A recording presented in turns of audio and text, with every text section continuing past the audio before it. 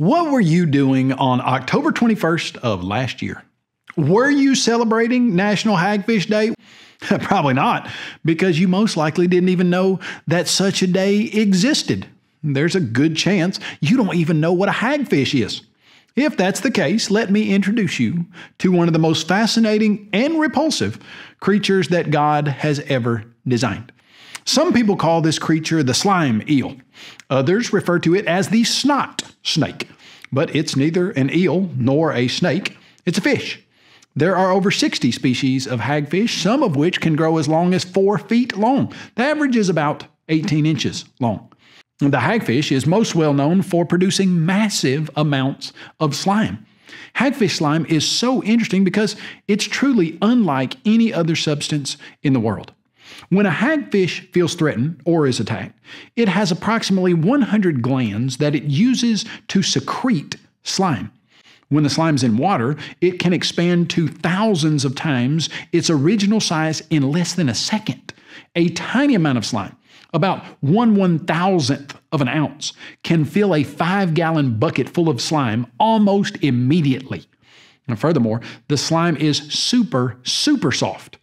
In fact, researchers believe it to be about 100,000 times softer than jello. Imagine a super snotty sneeze being shot out of the pores of a worm looking fish, and you start to get the picture. What does the slime do for the hagfish? Research shows that the slime is designed to cause fish that attack the hagfish to choke and gag. And if they don't spit the hagfish out, they can't breathe. So they're forced to release their hagfish. But if the slime is so slimy, how do the hagfish get out of it? Don't they slime themselves? Actually, they do. But they tie themselves into a knot and run their body through that knot, squeezing the slime off like a squeegee. Isn't it amazing how God designed them to be unslimable? But not only does slime help hagfish survive, but its chemical properties are interesting for humans as well. The slime is composed of mucus and proteins, which together make it similar to a wet spider web.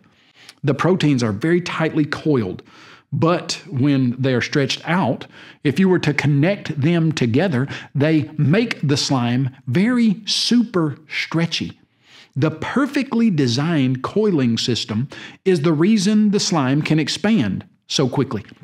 Each hagfish contains enough proteins to produce strings that, if you were to connect them all together, would be literally thousands of miles long. The proteins and slime they produce are stronger than nylon, but they're about 100 times thinner than a human hair. Researchers who study the slime believe it can be used to create all kinds of helpful fabrics.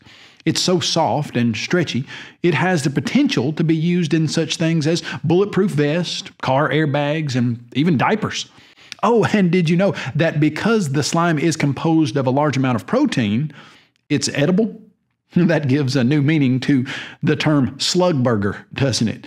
Who would have thought that God's slime recipe was so useful? Hagfish are equipped with more tools than that. They can go for months without eating. When they do eat, they don't even have to chew their food. They can absorb nutrients directly through their skin. Imagine putting a hamburger on your arm and it seeping through the pores into your body. And furthermore, hagfish are covered with very loose skin. What's so important about loose skin? Hagfish don't shoot slime unless they feel threatened or are bitten first. That means they have to be able to live through a big chomp from a predator such as a shark.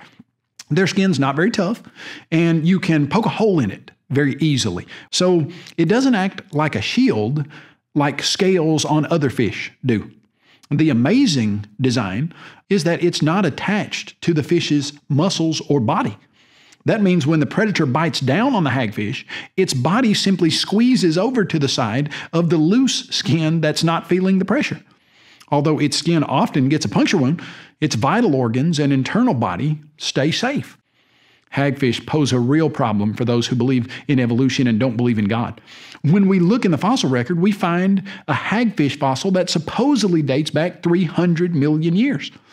And now we know that the world is not that old and it's only a few thousand years old, but I'm just using those evolutionary numbers to show the problem. That fossil shows that hagfish have remained basically unchanged for 300 million years. That means they haven't evolved or changed into anything else. You know, for this reason, hagfish are called living fossils because the hagfish alive today are the same as those in the fossil record.